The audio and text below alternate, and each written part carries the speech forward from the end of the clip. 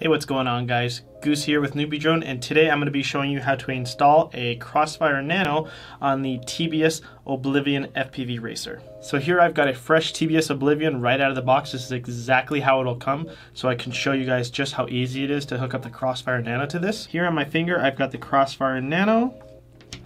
You're also going to need this VTX of 5 volt cable that comes with the Oblivion we're going to be using this because the one end of the cable has the smaller plug and that's actually going to plug into this top left plug right here. For the pinout on the very left we're going to have our 4.7 volts or 5 volts.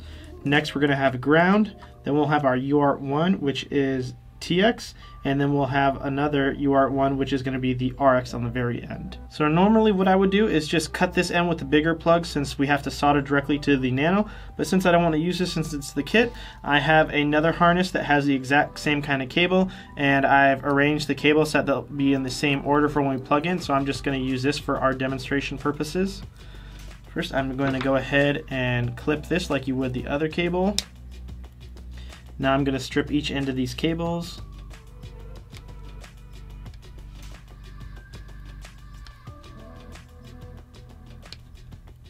Okay, once they're all stripped, I'm going to pre-tin them a little bit, and we're just going to get a little on the tip.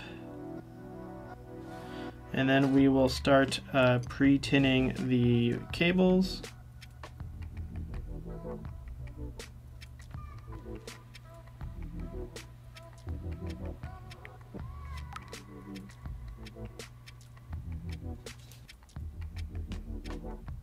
Now I've got the Crossfire Nano and a clamp and we're ready to solder the harness to it. So first we're going to do the ground cable which is on the very right.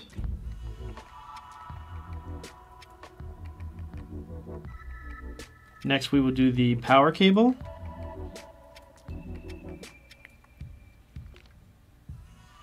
And then the TX and the RX cables.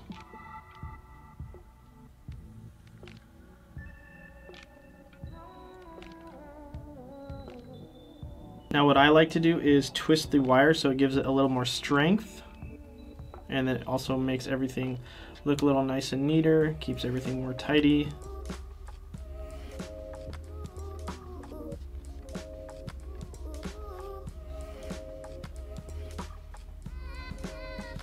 Okay, that's pretty good. Now we've got our Oblivion and we can go ahead and plug the harness in.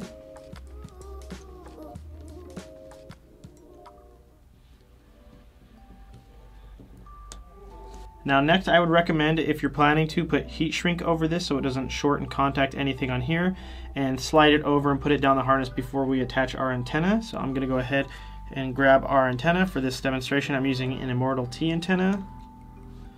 Normally you'd throw your heat shrink on there now, but I'm not doing it, so I'm just going to go ahead and attach the antenna. Okay, once that's clicked on there, and now we're ready to bind the receiver. Now we're going to go ahead and set up and bind the Crossfire Nano receiver to our radio. In this case, I'm using a Taranis with the Crossfire module on the back. First thing we're going to want to do is create a new model. I've already done that. You're going to want to hit Menu, Page. I'm going to scroll up to get to the bottom. And what we're going to want to do is turn off the internal receiver. I'm going to go down to here to Mode and just scroll to Off. Scroll down to External RF, hit Enter, then we're going to change that to crossfire. Go ahead and hit exit. Get out of that mode. Hold down menu. Hit page. Then you can see we got crossfire on the top. Go ahead and hit enter. Then down to crossfire Lua. Hold that down. And right before that, I'm going to go ahead and take our Oblivion and plug in a battery. Go ahead and hit binding. Telemetry recovered. Now that's bound. I'm going to exit out of that. And I'm going to scroll down to Nano RX. Hit enter. Scroll down. And you're going to want to make sure the output map, output 1 and 2 are set to Crossfire TX and RX. I've already bound it on this Nano before, so it's already set, but I think by default it's set to uh, PPM, so you'll want to change that to Crossfire TX, and then output 2 will automatically change to Crossfire RX. And then go ahead and hit exit. and you're all done binding it and setting it up. Alright guys, so that's how you install and bind your Crossfire Nano to the TBS Oblivion. If you guys have any questions or comments, please leave them below. I'll have a link to where you can get your Oblivion and your Crossfire Nano in the video description. Otherwise, I'll see you guys in the next video.